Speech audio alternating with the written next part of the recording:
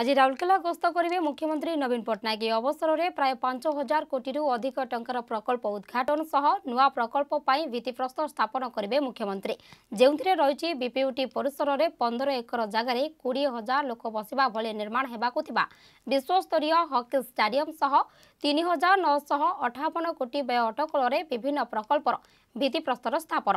ଏହାସହ ଆଠଶହ চৌত্রিশ কোটি টঙ্কা ব্যয় অটকଳରେ বিভিন্ন প্রকল্পর লোকার্পণ তেবে ভিত্তিপ্রস্তর ও লোকার্পণ প্রকল্পগুড়িক মধ্যে রয়েছে ক্রীড়ার বিকাশ লাগি সুন্দরগড় জেলার সমস্ত সতেরটি ব্লকরে আস্ট্রোস্ট্রফ হকি স্টাডিয়াম নির্মাণ কৃষিক্ষেত্র লাগি তিনশহ বাউন কোটি টঙ্কার এগারোটি বৃহৎ উঠা জলসেচন প্রকল্পর শুভারম্ভ পানীয় জলর সুবিধা পাই বার কোটি টঙ্কার যা সূচনা মধ্যে রয়েছে কি প্রকল্পর শুভারম্ভ এবং পনেরোশহ অনেশত কোটি টঙ্কা ମୂଲ୍ୟର ପ୍ରକଳ୍ପର ଶିଳାନ୍ୟାସ।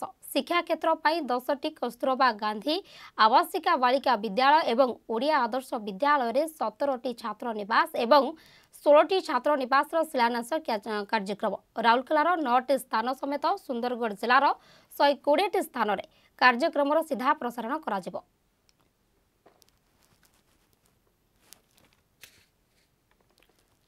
ଏବେ ନିଜ ମୋବାଇଲରେ ଅର୍ଗସ୍ ନ୍ୟୁଜ୍ର ଆପ୍ ମାଧ୍ୟମରେ ଆପଣ ଦେଖିପାରିବେ ଲାଟେଷ୍ଟ ଅପଡେଟ୍ସ ଆଉ ଲାଇଭ୍ ଗୁଗଲ ପ୍ଲେ ଷ୍ଟୋର କିମ୍ବା ଆପଲ୍ ଆପ୍ ଷ୍ଟୋର ଆଜି ହିଁ ଡାଉନଲୋଡ୍ କରନ୍ତୁ ଅର୍ଗସ୍ ନ୍ୟୁଜ୍ ଆପ୍ ଇନଷ୍ଟଲ କରନ୍ତୁ ନିଜ ମୋବାଇଲରେ ବାସ୍ ଖବର ଏବେ ଆପଣଙ୍କ ହାତ ପାହାନ୍ତାରେ।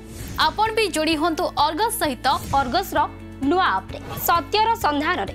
ଅର୍ଗସ୍ ସବୁବେଳେ ଲୋକଙ୍କ ସାଥିରେ।